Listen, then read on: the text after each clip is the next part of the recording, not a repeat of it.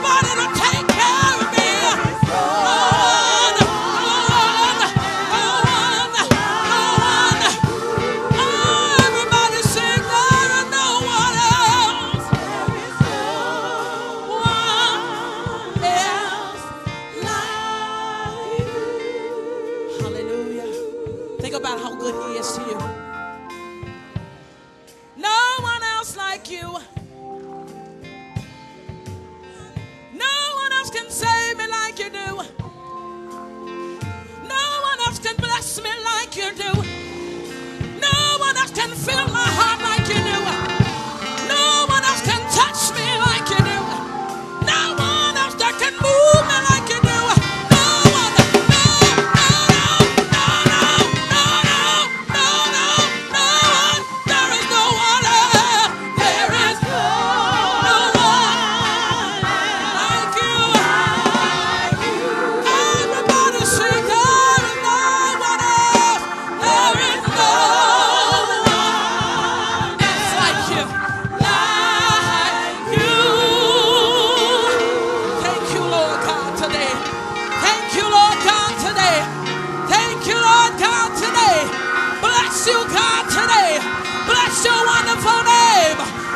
magnificent name of Jesus.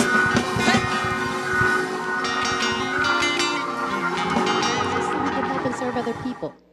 I never play the lottery, but I have uh, an obsessive behavior.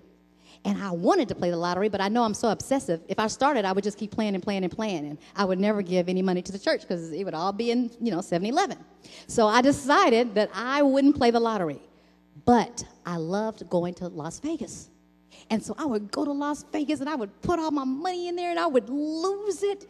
And I wouldn't get to go often, but I look forward, you know, I would collect quarters for the next time that I was gonna go. And I went two years ago to a conference that was in Las Vegas and I was ready. I had my quarters ready because it was my money and I could do what it, what, with it what I wanted to. And so we were walking through the c- casino to go to register for the conference, and then I was coming back to spend all my money. And I walked through, and my friend said, Who would want to waste God's money?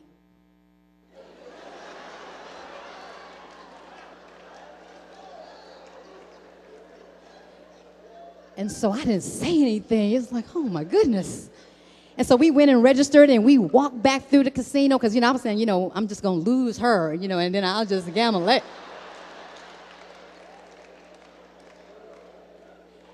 And so when we walked back the second time, she said, Who would want to throw away God's money? I was convicted. God gives us resources to use in church. Yes, you have rights and you have privileges and you have freedoms, but that's not my money. It's not my money. It doesn't belong to me. God gave it to me to use for his body, for the body of Christ and for his world, so people would be drawn, drawn unto him. And so I went back to the room and I was so convicted by that, I thought, you know, I teach the Bible. She's in my class. Can I gamble and let her see me throw away God's money? So, you know, I didn't gamble that day. And Lloyd called me that night. He said, Well, did you did you gamble? I said, No. He said, You didn't? I said, No, I was too busy. He called me the next day. Well, did you gamble today? No. You didn't? No, I was real busy. I was like, You're busy? You've never been busy before. And I went all the three days and I didn't do it because I was convicted that God gave me resources to serve Him and to use wisely.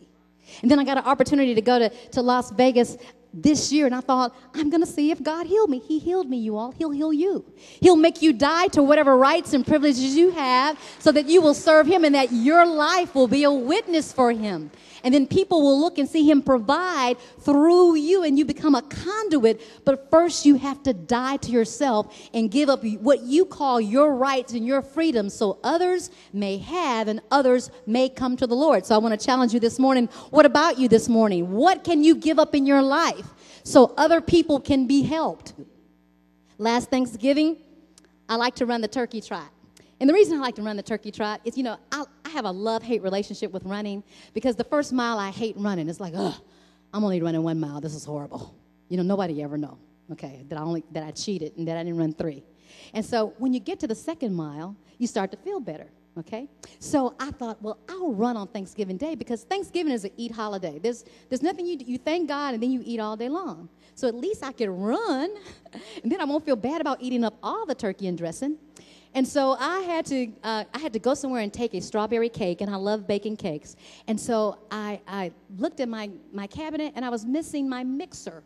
So I said, "Oh, you know, Walmart is open." And I asked my husband, you know, I said, "Lloyd, I don't know what happened to the mixer, and you know, I got to make the strawberry cake. Will you go to Walmart and buy me a mixer?" So you know he's you know he's married to this crazy woman who never has what she needs at the last minute and has to make seven trips. So he, in his grace, he went to get the mixer. So I'm at home and I'm getting my strawberry cake ready. I have the confectionate sugar, the strawberries, and I get everything out because it's going to be a good cake. And then my husband, he I can hear the garage door opening.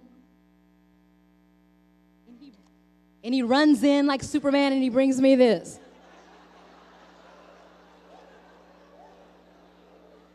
And I say, Lloyd, what is that?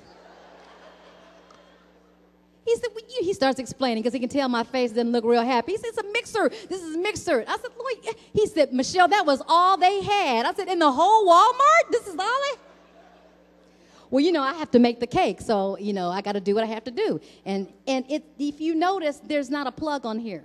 This is a charger.